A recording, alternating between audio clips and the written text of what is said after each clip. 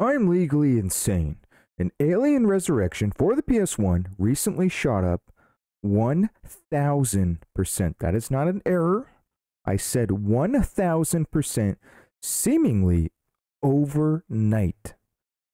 So let's find out why this game shot up so fast and so frickin' high. And while we're at it, let's find out why you might want to consider purchasing this game or why you might want to consider selling it. Well, the prices are high. Are they going to stay are they going to stay this high? Let's discuss it and I'll tell you all about it. I've been telling you guys on this channel, get your games cheap, get them before the prices skyrocket. The cheaper the better, the earlier the better, cuz sometimes things like this happen unpredictable things. In this case, this is a very rare situation. I almost never see this type of thing, but it does happen. It happened to Phantom Dust for the Xbox recently. And I'm going to compare what happened here to Phantom Dust a little bit later on. So let's look at the chart. This is a beautiful chart, by the way. Nice, slow and steady riser. Picked up the pace around mid 2019, summer 2019 and it's been a slow and steady straight line up. You zoom out five years from now, that, that trend is going to continue. This would be a $100 game with or without the recent increase in price. This is a late release title, came out in the year 2000, late 2000, closer to 01.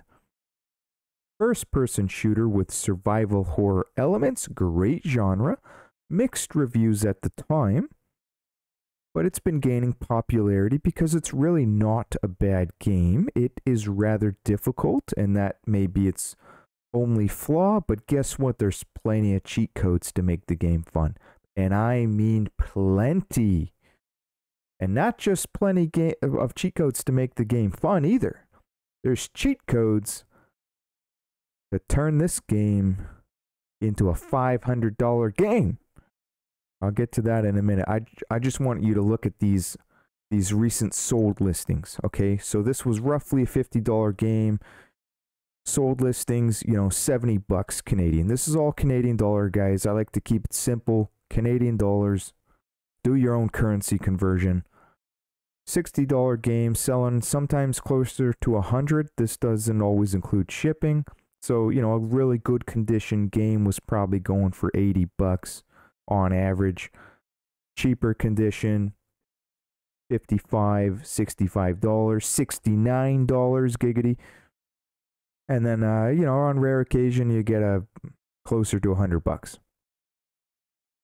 Well, this really took off. Oh, look at that, around December 19th, because around that time was when a little known video that's now gone viral from Modern Vintage Gamer came out discussing this game.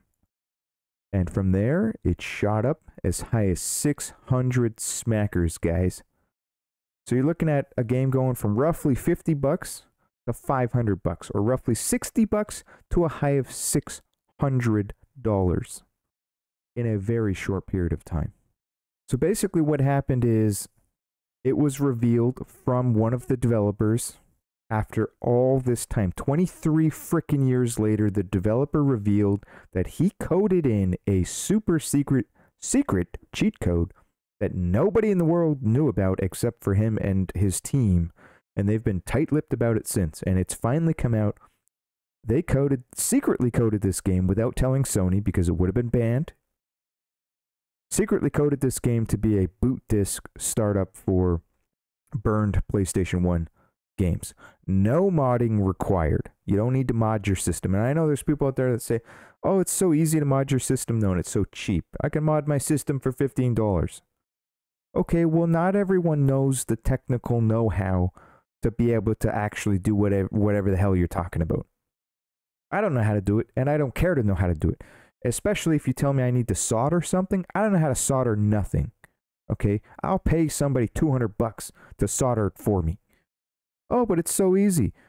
Uh, you can learn how to solder it on YouTube. It'll take you five minutes. You can buy the soldering tools for 20 bucks. I don't care. I'm still not going to do it. I'll pay you 200 bucks to do it. How about that? Okay, I don't do soldering. I'm not a technical guy. I'm not a hands-on build crap with your hands guy. I can't even hammer a nail into a piece of wood, and I'm not exaggerating. I'm not making that up. I can't even do it. I hit my thumbs on the nail. The nail hits my thumbs and my fingers. And eh, but the nail didn't go into the wood. That's what happens. Yeah. So that's not going to work for everyone. So there's other people like me that look at this solution and say, "Holy hell, this sounds great. I didn't know I could do that." So there was an article put out by Games Radar that also contributed to this going viral. It is revealed that there is a cheat code that will let you swap Alien Resurrection for seemingly any burned PS1 game. And by the way, by the way, the beauty of this cheat code is that they programmed it in when you um are prompted to now switch your your disk out. It stops spinning the disk because that was a problem with this in the in the very early days of PS1. People found other ways to to make other games act as boot disks. But generally, the, the CD was still spinning, so you always risked, you took a risk of damaging your CD. But this one, stop, the, the CD will, will completely stop, and you can take it out safely and pop in your, your new game that you want to play. Any game. Any game. So it will do this without requiring a mod chip, a soft mod, or a memory card. All you need is a copy of the frickin' game and the cheat code itself. So there's a couple of steps that you got to do. It's not just one cheat code. It's a bit of a pain to enter the cheat code. If you want to see the actual code, you you'll have to watch his video. But I wrote down the general steps. So first you unlock the cheat menu. There's a secret cheat menu. There's cheats and then there's a cheat menu. Like I said, this game is filled with cheats. Okay, freaking awesome game. I love cheats. I suck at games, so I really like cheat codes. So first you unlock the menu. I'll, I'll give you an example of the cheat code that you would enter. Circle, D-pad left, D-pad right, circle, D up, R2. Okay, you get the cheat menu. Then you can unlock cheats. But then after that, you have to unlock the stage select cheat code. Okay, then you go back to the main menu to enable the super special code. That's what the creator of this code calls it. The one that he cheated Sony out of by uh, according to Sony policy, you had to declare all of your cheat codes to Sony before releasing a game, and they did not declare this cheat code. Those sons of bitches. and and he figures it's too late. It's you know because it's been 23 years. Sony's not going to bother suing them now, so that, that's why this is coming out now. He figures, ah, they're not going to come after me. What are they going to do? They're going to sue me? Well, you better hope they don't. Because hell, they might. Actually, I doubt they will. That would be really bad press. Okay, so then you enter the super special cheat code. Okay. Then you'll hear a noise indicating that it worked. And then, like it's not even over yet, then you select level 6, section 1. Then you enter another uh, code on the button and the code is you hold L1, press X, do not release L1, then the disk will stop spinning and you can load the new disk. So during this whole process, you already have your system open and you will have a piece of cardboard holding the tray eject sensor down. Okay? Common trick used back in the day. So those familiar with it will will know exactly what I'm talking about go check out Modern Vintage Gamers video. And he does go through the whole, pro- whole process, and he even inserts a burned copy of 1999's Silent Hill. So you may be asking, why did Argonaut Games turn Alien Resurrection into a boot disc for backups? Well, according to Martin Piper, the son of a bitch that did this, in a good, a, a good son of a bitch, a developer who worked on the game and revealed its long held secret to modern vintage gamer. The intent was experimental. Piper wanted to find out if discs could be changed without having to reset the PS1. And he didn't tell any of the other developers, nor Sony itself, about his little technical test. Well, the guy is a bloody genius.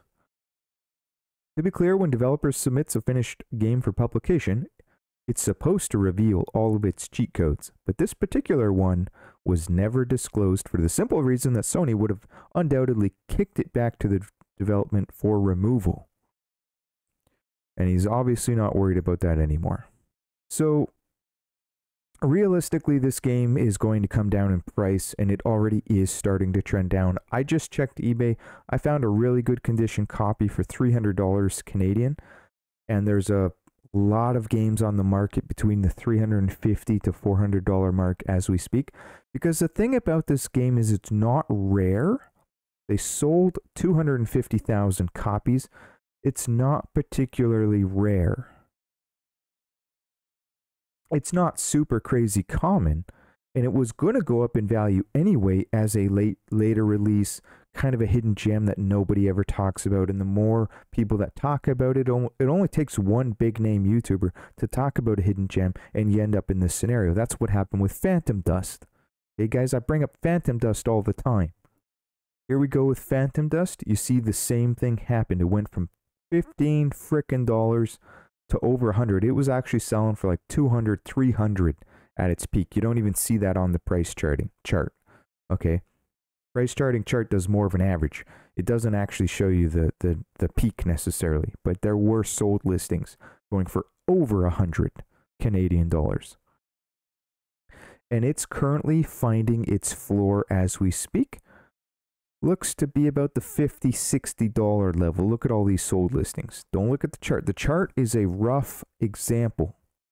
Okay, the chart doesn't always include or, or these prices don't even always include shipping. So CIB, you're looking at $60 recent sold listing, $75. So the floor is likely currently around 50 to $60, and I would estimate will probably stay around that level for a while. A big name YouTuber like million, two million, four million subscribers mentioned this game. He did a deep dive retrospective style video about this game being a complete hidden gem.